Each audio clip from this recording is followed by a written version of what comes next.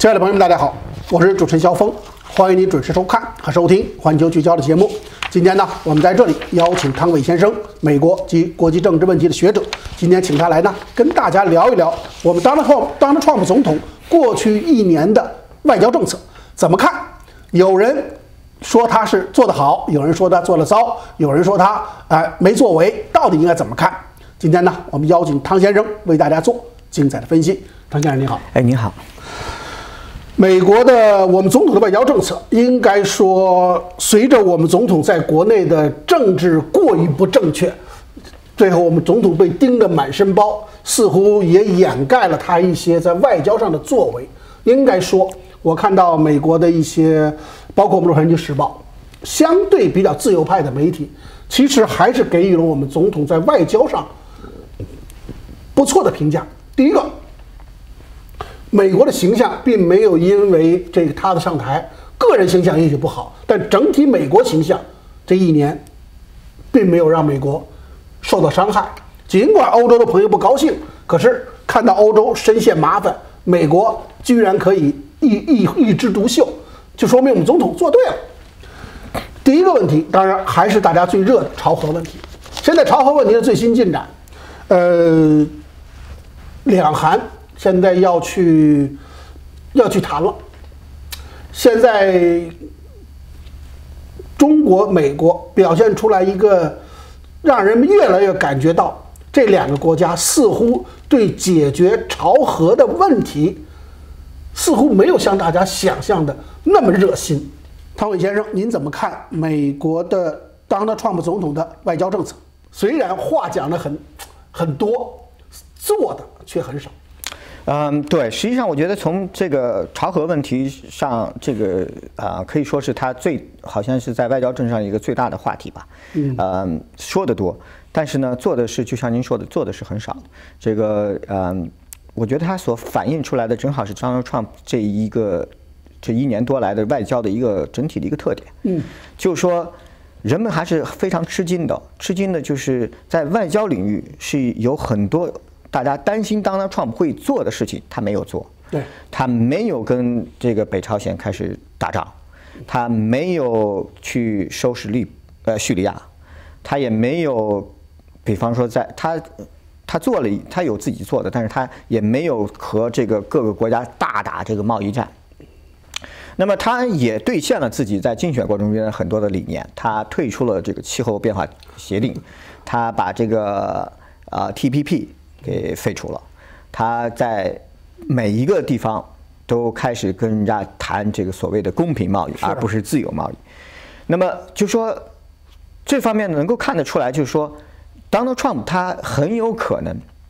呃，如果我们去，而且他最后公布的这个他的这个国防所谓白皮书，从某种角度上来说，可能是他的这个今后如果有这个 Trump 主义的话，就是可能这个他的基点。上面你都能够看得出来，他的自己的这个理念上面呢，还是非常就是很很理智。他没有第一呢，你可以看得出来，美国没有一个就是他先要实现一个什么目标，他做的很多事情都是在他有一个大概的方向，他去做，那么。这一点呢，他就这个避开了、避免了，像在小布什政府时期，比方说在两伊和阿富汗战争这些问题上，就是他的这个目标呢是一个比较大的这个目标，所以做起来的时候好像很容易做，但是他就完全很难考虑到这个其中的这个成本呀和怎么收尾。那么像他这件事情呢，他就是有个大的方向，他就在做，他能推动一点，他就推动一点。重点在解决问题，重点在解决问题。然后呢，他又没有使得这个就是这种大规模动荡性的这种发生。所以我觉得整个外交大家的感觉呢，就像您刚才说的这个非常非常好，就是整体的外交是平稳，然后呢有有很多地方是有亮点，但是呢又都给大家有足够的这种。啊，tension 或者就是说这种紧张感，让大家都不要觉得很舒服。所以自己的盟国，美国的盟国，呃，大家呢既不像刚开始选刚当选的时候，大家那么担心说啊，他现在要把我们抛弃了，这方面的担心没有了。嗯，但是呢，他又没觉得我们可以就这样随随便便的，我们还要可能比方说在这个呃承担自己的防卫费用方面啊等等方面，大家还是。这个有一些，包括韩国也愿意跟他重新谈已经签好的这个自贸协定啊等等，就说大家也开始意识到这个 Trump 说的一些东西，或者说开始接受，也接受这样的一个现实，就是说你的老大现在不光是说白给你这些东西，然后现在要准备让你分担一些，就是这方面，他的这些所谓的潜在的战略这个对手们，包括俄罗斯啊、中国啊啊，那么这些国家呢，他。俄罗斯没有迎来他原来期望的川普之后的这个重新的变化，但是它在恶化的这个也是也是非常非常有限的。它基本上这边就叫这条战线上是没有什么事儿。嗯，那么最大的事儿，最大的事儿呢，恐怕就是在。之后，这个他们有要卖给乌克兰一些反坦克导弹，那主要涉及到的一些非常局部的问题。对于整个俄罗斯的经济和它整个外交的这些方面呢，相对说来，它至少没有在对欧洲和对其他的国家施加很大的压力来对俄罗斯进行制裁，这方面已经没有了。那么，所以呢，那边呢也是紧张，但是没有恶化。那么和中国的关系呢也是这样，就是它它不它中国的关系，它不是说紧。比以前更紧张，是比以前更缓和，但是呢，并不是说完全放心。嗯，所以就说他比奥巴马时期那种，大家奥巴马，大家知道奥巴马就想搞各种各样的东西来搞你，大家已经知道，虽然他口头说说我要跟你这个合作，那川普他正好是相反的，他在实际在那跟你做一些这个买卖合作啊什么这方面，但他呢，他口头上是在说你我我是要把你当做这个战略竞争对手。对，所以呢，我觉得这。方面呢，对于中国来讲，它实际上，它它的这个感受呢，实际上反倒是更踏实了，因为这终于大家不用再成天在那里说一说一套做一套，对吧？就这个没那么高的意识形态。至少在上一届的时候，基本上说一套做一套。那么，所以呢，就是大家也知道。美国这方面，他就说，在他自己所谓的这个捍卫自己的利益上面，很有可能会，因为 Trump 他已经给人这样一个印象，就说你你猜不透他要干嘛。所以呢，就这本身呢，再加上美国这个实力，他已经形成了对很多国家的这种威慑。所以呢，整体上来，打比方说他，那么。唯一可能比较意外的，就是他所谓做这个印太战略的这个问题。那么至今为止也没有什么这个没有实质内容，没有什么实质。这很有可能就是他自己的整个的一个东西，就是说他会用这些所谓虚的东西给你一个好感，但是他用一些实际的东西呢，他他还是继续去做。也就是在这些虚的这些口号问题上，大家恐怕也不必要解读太多，或者说你可以解读，但是你不要把它。影响你你的睡眠或者是你的工作，因为他很有可能不会干什么事情。那比方说在跟印度的关系上面，那比方说现在他又开始在 H1B 的这个签证啊等等方面，他必然会影响到这个美印之间的这个关系。因为很多的这种合作，包括印度的公司，还有包括这个以后呢，像这个外包、服务外包这个领域也会有很大的压缩。那么。接下来这一年可能把这些东西都是一个重点，而服务外包还有包括这个劳工或者是这个高高级劳工在这个硅谷的这个输入这些方面都是会打击。我很难相信这个会有一些很明显的这个变化。所以我觉得整体来讲，这个 Trump 他的这个外交方面，他是一个求稳的，他也反映出来他自己的整他的白外交白皮书上面说的这个非常重要的一点，就是说他认为。这个美国有一个自己的核心的国家利益，呃，在他能够捍卫自己的核心国家利益的这个基础之上呢，不要这个过度扩张，这点他做到，他就没有到处去去扩张。另外一点呢，就是说要想很好的捍卫自己的核心利益，一定要自己要把自己做强，就自强。对，这点。所以呢，国防。这就体现出来，马上这个所谓的这个预算的这个问题，就是现在正在国会里面激烈讨论，就是国防到底能够给他的这个目标实现多少。那么，我觉得在这方面呢，川普仍然可能会采取的就是他过去的那样，就是在说的方面说的很高，就是去谈判商人谈判要价很高，是最后呢很有可能是一个，但是呢不管怎么样呢，这个在要价的这个过程，他。让所有这个希望能够强军的这些方面，或者是非常保守的这样一些势力非常高兴，因为看到总统非常认真在要价，他发了很多 Twitter 在要要这个国防的费用，但是最后的这个呢，也能够反映总统，我我相信他也会接受，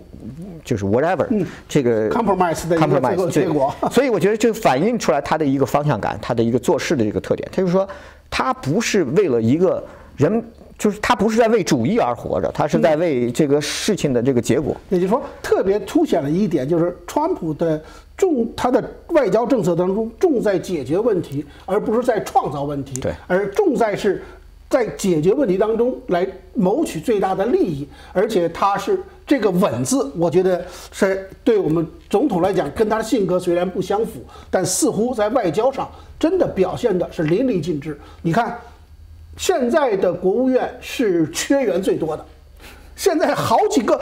我们国务卿下面的几个最重要的助手都还没有到位呢。对。刚刚国会刚这个刚刚提名了一位这个苏这个叫中国中文翻译成董云尚这位女性刚刚出任东亚助理国务卿，这是对华关系和朝核关系最重要的一个外交官员。这个人的特点是什么？稳，他从来没有提出过极端的这种主张，他既不表现过度的亲中，也不会表现出过多的像奥巴马一样遏制。他的官员任命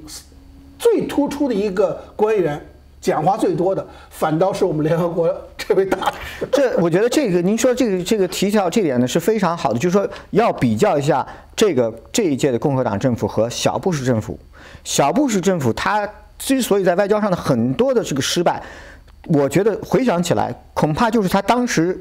运用了一批所谓的这个鹰派的这样的人物，没错，这个切尼搞的嘛。切尼他带回了一批很有自己主张理想的这个人物，新保守主义的那些人物。他们用这些人物，这些人物在他的整个这过程之中，他们有一个，就是我刚才说的，他们是为了一个理想、一个主义在活着。所以他们在这个过程之中，在追求，在这个过程中，包括在一和一战这些问题上，他们就很多时候他会看不到这个真相。所以他们就会一味的就去追求，只要所有的东西支持我的这个信仰呢，他都会去接受。所以在这个过程之中，我觉得 Trump 他在这方面，他是在找一些执行的人，他把这个决策的这个影响力这块，他把它缩小了。等于说我把决策问题收回来，你们只是做幕僚。对，时间关系，我们先休息一下。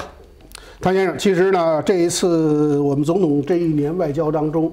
呃，我们总统最开心的。就是莫过于那十二天的亚洲之行，哎，比他在国内受围剿，在欧洲受受白眼，哎，那来的开心。无论是日本的这个天皇对他毕恭毕敬，韩国的权力的这个对他的欢迎，更不要说中国的这三天两夜的这个啊热情接待。但是毕竟，这个中国中美国跟中国之间很多利虽然。达成了不冲突这样一个共识，但是两国之间在结构性的矛盾，并没有得到根本的解决，也两国之间的呃未来这种彼此之间的潜在的冲突和矛盾依然存在。现在看来，两国之间呃最大的问题，大家不认为是朝核，也不认为是南海，更不认为是台湾，大家认为两国未来最大的问题还是经贸关系。你怎么看？对，我觉得现在如果经贸关系是两国的最大的问题，实际上这是一件好事儿。嗯嗯。呃，为什么呢？实际上，中国从中国的角度来讲，中国的崛起或者说它的发展，它需要一个和平稳定的一个环境。是。能够这个颠覆它和平稳定环境的主要的这个力量呢，是来自于美国。没错。那么。我们可以说，很多周围的那些小的国家，或者是地区，或者是这个自己的一些问题，它都有可能发酵。但是这些问题呢，都是中国相对说来是比较容易处理。如果美国没有大规模卷入，它相对说来比较容易处理。所以最大的问题来自于这个这个美国这方面。那么，所以在这个政治、安全、人权等这些方面，就是人权也是跟政治是紧密相连的。那这些方面如果没有太大的问题的话，我觉得中国来讲，他是很愿意看到这样的一个局面的，或者是在诸多的这种，因为如果全心全意的合作，这个本来从各种历史呀和发展的角度来讲，也是很难。那么，所以说，我觉得就是接受了一样一种竞争者的这种局面啊。实际上，你你看这个，虽然过去的时候，过去中美两方都是这个说一套做一套，这个实际上双方都是把对方作为一个主要的战略竞争对象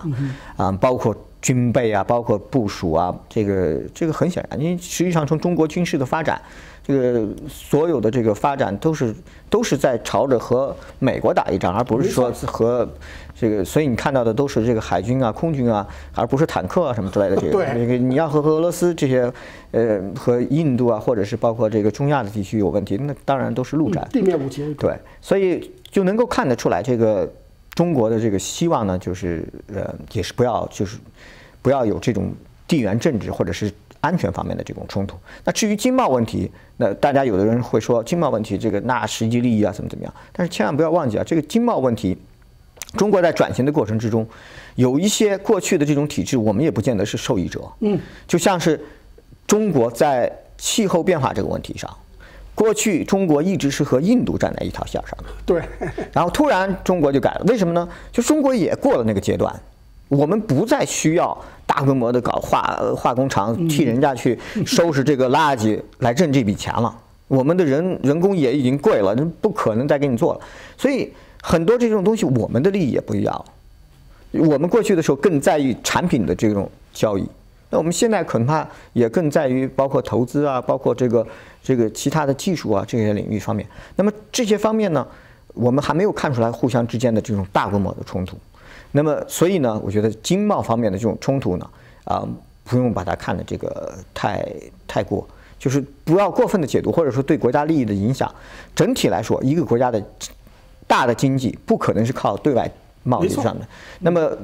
中美两国都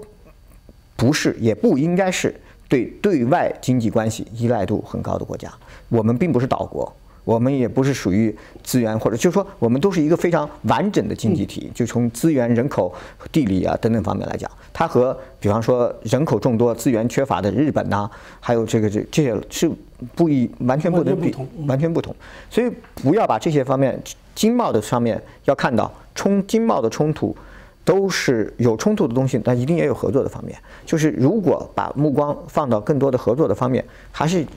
都是对方双方来说都是有好处的。但是从现在看，我们总统呢已经，甚至包括我看在圣诞节前后，我们的商务部长这个接受 Fox News 的访问呢，他也谈到这一点。他说，中美之间的贸易不平衡还是要解决的。这是我们总统并没有因为两国关系的缓解，或者说两位领袖关系的个人关系的呃不错，而我们不去解决问题。但是我们解决这个问题，就是为了解决经贸。他说的非常清楚，不附带任何的政治目的。对，所以这就和奥巴马政府、克林顿政府，甚至小布什政府有根本上的不同。对对对，这个就是说，他们比方说他们做 TPP，这个他就目的他就是有一个在在政治上和这地缘政治，对没错嘛所以实际上就是经济上面的问题的话，我觉得这个并没有不见得是一件多坏的一件事情。那比方说这个美国过去的一个状况就是美国没有什么自己造的东西，所以在贸易上面它就完全不平衡。那实际上中国这个消费市场也是在扩大的。对对吧？中国可以蹭把这个日本的这个架子买空，蹭把这里买空，那包括旅游啊等等方面，就是说中国有这样的一个购买力。那很多时候是过去的时候是美国没什么东西拿得出来。那比方说现在我们就多买一点儿，就是可能粮也不一定缺，但是我们就多买一点就是很多的东西，飞机我们也我们也造，但是我们也就买。就说这种情况下，能够双方只要有在这种不把这些东西上升到这个战略方面这个层次上，就是一个做买卖。做买卖总会有这样就互通有无。那么过去这种不平衡，我觉得也不见得就是中国方面这个能够维持，而且实际上在很多的这种不平衡的这种因素，已经慢慢的在转向这个其他的一些国家，比方说这个呃过去的大规模的这个纺织品、家具、玩具呃这些。小日用品这些方面，已经有很多服装这些已经很多都转向其他的第三世界国家，东南亚南亚、的一些国家，所以我觉得这这些呢，就说贸易的问题也会慢慢出现新的问题。那么我觉得美国它只要能够开放自己的心态，比方中国对能源的需求，对吧？中国。如果油气可以从阿拉斯加那边到到中国去，也是非常方便的。是它它比从俄罗斯从那边北冰洋上面过来还方便呢。方便对那我觉得就很多这样的问题，就是说实际上就是要看大家是真的愿意长经贸对经贸的合作必须要有一个长远的眼光。没错比方说你这个气的这个供应这个问题，对吧？你你说你今天上台了，我不喜欢你，我我因为你你这有一个人，他有可能能拿啊诺贝尔和平奖，然后被你关起来，我 我今天就把你这个气卡断了，那这个就这些问题是不可能。所以这个对这方面来讲呢，这个虽然现在两国都是愿意做这种合作，但是需要呢双方，特别是美方。能够建立起这样一种社会和政治的一种共识，嗯，是愿意通过这种经济上的，哪怕是竞争都没有关系，但是就不要把这种经济的这个融合作为一种时时刻刻拿来作为一种武器。当然，这个是非常难的一件事情，在这种政治这个和经济的这种关系中间是非常难以做到。但这里有一个很重要，在你主要是你的主观出发点。对，如果你像奥巴马，就是以意识形态作为出发点，什么都可以变成工具。如果你就是为了两国经贸合作，就是为了单纯的平衡贸易之间的不平衡的问题，像如果中国在真的可以允许中国大规模开发阿拉斯加的这个天然气，仅仅能源这一项，就有可能会让中美二零一八年的经贸合作这个平衡就会发生根本的改变。对，这个能源合作是一个很好的例子。这个中国这次去签的这个呃，Trump 去呃中国访问的时候签的几个大单子，呃，能源是最大的一最大一单。所以，而且实际上中美之间能源合作，特别是在天然气方面的合作，其实前景还是很好的，非常好。那么现在他，我觉得他现在就是面临这样的一个一个。这个是否能够有长远的？因为这个必然是一个长远的投资。那是不能说，因为你川普上台下台以后上了一个民主党的一个形态很强的总统，最后动不动哦，你你不放某某某，我就把把把能源不给你了。对对对，像这种，这是美国中国之间最麻烦的事情。对，而且也是中国和他合作的一个很大的。实际上，你看中国在能源的这个呃进出上面，包括像和安哥拉呀等等这样，他看重的就是这种。没有这种政治和安全方面的风险，那么我觉得这个也是，特别是值得这个双方在考虑今后的战略、呃经济的平衡和贸易平衡方面，大家都应该把这个因素考虑进去。所以啊，真轨达成不冲突这个共识，虽然比过去似乎有一点还没有让很多人满意，但是这一点其实我从这个角从主观。出发点这个角度来看，其实是非常重要的。起码我不主动去搞你，这一点很重要。我觉得非常重要的就是现在的话，他们说的话，大家可以去读、去想、去信。嗯。过去的时候，经常，比方说，呃，很多年前，这个，嗯，中国领导人访美的时候，要建立这个什么战略伙伴关系，这个，这个，这各种各样的战略的这个好多个词儿，你都不知道到底谁。美国也搞不清楚。明天就有可能要打核大战的国家，也是你的战略伙伴，你你有些就是你的铁杆儿，就就就说，有的时候。